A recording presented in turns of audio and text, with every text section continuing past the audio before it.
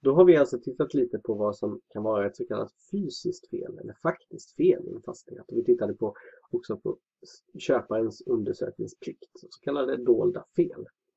Eh, och för att det var ju bara dolda fel vi kunde göra gällande då enligt och få någon form av kompensation enligt 412 jordabalk, fjärde kapitlet 12 paragrafen.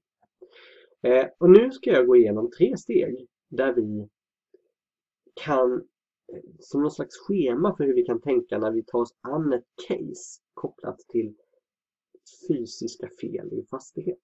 Om ni får ett case, till exempel det regnar in genom taket på fastigheten jag har köpt. Eh, superenkelt eh, liksom formulerat case. Vi vet ju väldigt lite om det caset. Hur tar vi oss då an det för att se vilka möjliga lösningar som det kan finnas på det här det vill säga att försöka se det här caset ur olika perspektiv och hitta någon form av det går att lösa på det här sättet eller på det här sättet eller på det här sättet. Ja, det kan vi göra genom de här tre stegen.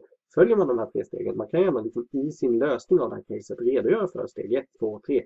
Om man då också förklarar, för det är inte säkert att alla lärare i juridik tänker samma sak kring de här stegen. Det är liksom inget allmänt vedertaget schema utan det är mer jag som har kommit på de här tre stegen. För att det är ju på det här sättet som man ska tänka. Så det, liksom, ni, kan ju, ni kan ju såklart göra det i den här eh, ordningen. Men om det är en annan lärare eller annan examinator än, än, än jag som ska liksom rätta uppgiften så, så bör ni ju kanske inte bara skriva steg ett utan också ska ni noga förklara varför ni tänker att det här är steg ett. Och så. Men här väljer vi i alla fall att börja då med att konstatera huruvida det faktiskt föreligger ett, ett fysiskt fel enligt 4.19 första stycket. Det är liksom det första vi måste göra. Kan vi överhuvudtaget prata om ett fysiskt fel eller är det något annat? Här? Och då tittar vi på caset, till exempel det läcker in vatten genom taket. Ja, det är ett fysiskt fel om det avviker från vad vi har avtalat. Det kommer ni ihåg, det var ju första delen av första meningen i 4.19 eh, första stycket. Vi kan ju titta på den. 4.19 första stycket. Om en fastighet inte stämmer överens med vad som följer av avtalet. Där hade vi det. Ja, har vi avtalat att det ska vara perfekt skick och det inte regnar in vatten genom taket. Eh, ja, då är det ett fysiskt fel om det gör det. I alla fall enligt steg 1. Sen får vi gå vidare steg 2 och 3 och se hur vi går vidare med lösningen av caset. Men då har vi i alla fall konstaterat att ja, det finns förutsättning för att det här ska, ska anses vara ett eh, eh, fysiskt fel. Det är lätt att säga det när, när, när det liksom framgår av avtalet vad det ska vara. Det är ju svårare när det kommer till att man inte har avtalat och det är så det oftast är. Det vill säga oftast har vi inte avtalat om ett visst skick på taket utan eh, då är det ju så nästa del där eh, eller om den annars avviker från vad köparen med fog kunnat förutsätta vid köpet. Alltså, ehm, eftersom taket är relativt nybyggt så borde det inte läcka in vatten kan man tänka. Om säljaren säger att vi avtalar inget specifikt men säljaren säger att taket är nybyggt, ja då, då kan vi ju räkna med, då har vi fog att förutsätta för att det inte kommer regna in vatten på vinden. Än om säljaren till exempel säger att takets skick har jag ingen aning om, det är jättegammalt. Det kanske regnar in, jag vet inte, jag har inte varit på vinden på, på 35 år. Ja, då har vi kanske fog att förutsätta motsatsen, det vill säga att det faktiskt regnar in vatten på vinden och att det då faktiskt föreligger ett fysiskt fel. Eh, och då vet vi ju också, kommer vi till sen här i steg två sen, vad vi då som, som köpare måste göra, det vill säga ha noggranna undersökningar och så vidare för att kunna hävda ett så kallat dolt fel sen. Så att, ja, Eh, avtalet viktigt för om det föreligger ett fysiskt fel. Annars om man inte avtalat, vad man då med fog har kunnat förutsätta eller, och det har jag varit inne lite på också, vad säljaren särskilt har utfäst. Det vill säga vad säljaren särskilt har sagt. Antingen i liksom annonsen, eh, det står att eh, kom och köp ett hus med helt nybyggt tak, det regnar inte in på vinden.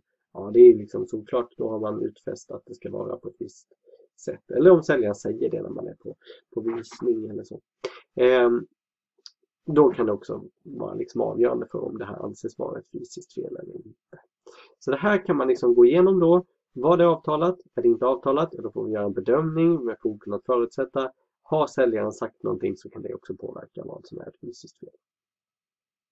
Det var då steg 1. Steg 2 som vi får titta på det är Okej, okay, vi konstaterar kanske att det finns kanske förutsättning för att det här är ett fysiskt fel. Då måste vi gå vidare och titta på, har köparen då gjort vad, vad köparen ska för att kunna hävda det här felet på något sätt? Som ett så kallat dolt fel. Och då har vi undersökningsplikten i 4.19 andra stycket. Det är det, det, första så kallade skyldigheten vi har. Så kommer jag till några till faktiskt skyldigheter. Här. Den första undersökningsplikten. Köparen måste göra en noggrann undersökning av fastigheten.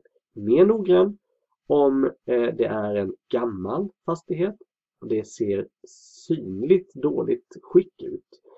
Ehm, eller säljaren säger någonting särskilt om, om skicket, ja då måste vi kanske göra en extra noga undersökning om säljaren säger att här, här är det nog dåligt till exempel. Eh, mer noggrann om det är gammal, sliten eller om säljaren säger någonting negativt om skicket än om det är ett nybyggt hus, då behöver vi inte göra så långtgående undersökning eh, överhuvudtaget faktiskt. Eller om det är ett hyfsat nybyggt så behöver vi göra lite grann undersökning. Alltså. Här kan man anlita en, en besiktningsfirma. Det är jättebra att göra. Det bör man göra. Eh, ja, just det. Återigen så här så föregick jag min egen PowerPoint. Undersökningsplikten är mer långtgående om fastigheten är gammal, den är relativt nybyggd, den är synlig, skicket påverkar eh, och, eh, och vad säljaren säger då eh, så, så kan ju också påverka det här. Sen måste vi göra en reklamation. Och det är ett begrepp vi känner till ifrån eh, konsumenträtten bland annat, eller köprätten om, om man tänker i att man tittar på den här lektionen i affärsjuridiken. Men tittar man på den i privatjuridik så, så handlar det ju framförallt om konsumenträtten där vi pratar om, om reklamationsplikt, eh, reklamationsskyldigheten. Man har reklamationsrätt säger man och det är att man har rätt att reklamera ett fel. Men det är också en skyldighet för att om man inte gör det då kan man inte sen komma och kräva någon form av påföljd. Och likadant är det här. 419a paragrafen. Huvudregeln är att köparen måste meddela säljaren att hen anser att fel föreligger, så kallad reklamation, inom skälig tid efter att, det, att hen upptäckt felet. 419a. Här har vi det. det här, när det kommer A, B och så vidare, det är ju när man C och D, ni ser här är jättemånga. Det är när man har kommit på här de här är från 2004. Den är från 90 och så vidare. Men man har kommit på här någonstans mellan 19 paragrafen, någonstans här emellan och mellan 20 paragrafen vore det bra att få in de här paragraferna. Och så vill man inte hålla på att ändra alla paragrafnummer i resten av lagen. Ja, då lägger man till A, B, C, D i det här fallet. Och 419a då har vi eh, reklamationsskyldigheten och reklamationsrätten är det också att man har rättighet att, att reklamera såklart. Ja. Eh, och så har vi lite undantag från, från det här då eh, om, om säljaren har varit grovt vårdslös eh, på något sätt eh, eller agerat i strid mot tro och heder, alltså ljugit och hållit på haft sig. Eh, då behöver man kanske inte reklamera på, på samma sätt inom, inom skälig tid. Skälig tid är ju en så här vagt begrepp som måste definieras från fall till fall, det vill säga så fort som möjligt ska man reklamera. Men är man bortrest så kanske det är svårt att reklamera just då och så vidare. Då kanske man har lite längre tid på sig och så vidare. Eh, ja, tredjedelar där behöver vi kanske inte säga så mycket om. Men så, om, om säljaren har liksom medverkat till felet och det stod bidragande orsaker till felet så, så är man inte lika noga med första stycket om reklamationen och skälig tid. Eh, till exempel. Mm. Det var 419a paragrafen. Så att man måste göra sin undersökningsplikt. När man hittar felet så måste man reklamera det. Annars kan vi inte kräva någon påföljd. Och sen har vi då steg 3.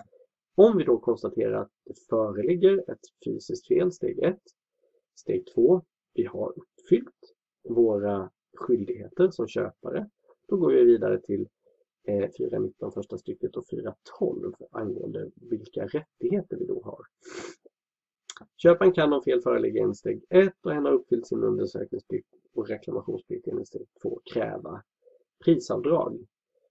Och det framgår då utav eh, 4.12 och 4.19 första stycket och hur man räknar prisavdraget 4.19c. Ett avdrag på köpeskillingen ska beräknas så att förhållandet mellan det nedsatta och det avtalsenliga priset svarar mot förhållandet vid tidpunkten för tillträdet mellan fastighetens värde i felaktigt och i avtalsenligt skick. Det vill säga om, om jag har förlorat som köpare på 200 000 på det här felet för att jag behövt lägga till det för att byta taket till exempel. Ja, då, då kan vi göra avdrag med 200 000 på köpeskillingen. Som ett exempel. Hävning av köpet.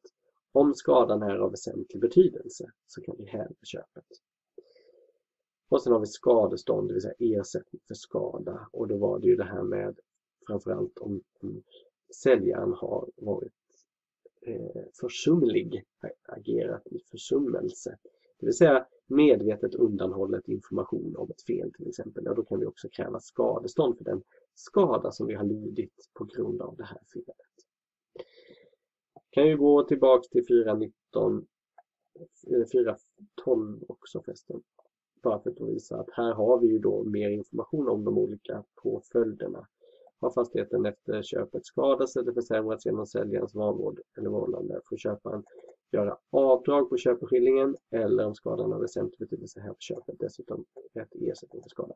Första meningen här, har fastigheten efter köpet skadats eller försämrats genom säljarens vanvård? Ja, det är inte, det är ju liksom det är en annan sån här fel som kan uppstå. Det är att, att man har genomfört köpet och sen skadas eh, fastigheten innan köparen har tillträtt. Det vill säga när, när säljaren fortfarande har det. Men vi tittar ju på 4.19 när vi pratar fysiska fel framförallt. Och det är ju liksom då att då tittar man ju på det här fel enligt avtal, vad vi kunnat, med fog kunnat förutsätta. Och så är det bara en tillbakahänvisning till 12 här att, att samma, samma påföljder som finns i 4.12 kan vi göra gällande även enligt 4.19. Men i övrigt är inte 4.12 aktuell för att det handlar inte om en försämring som har skett efter köpet. Till exempel, utan felet finns ju redan vid köpet enligt 4.19. Eh, takets skick är redan dåligt vid, 4, vid köpet till exempel. Ja, det var de här tre stegen. Eh, identifiera huruvida det faktiskt är ett fysiskt fel. Eh, steg två, eh, vad har sälja, köparen gjort? Har sälja, eh, nej, förlåt, vad, eh, jo, eh, vad har köparen, hur har köparen agerat? Har köparen gjort fullföljt sin undersökningsplikt och reklamerat? Eh, då kan vi prata om ett dolt fel kanske och för dolda fel kan vi då gå vidare och, och ansöka om någon form av eh, påföljd, det vill säga prisavdrag, hävning och eller skadestånd. Superbra jobbat, nu har vi tagit oss igenom faktiska fysiska fel och hur vi löser sådana case. Helt fantastiskt.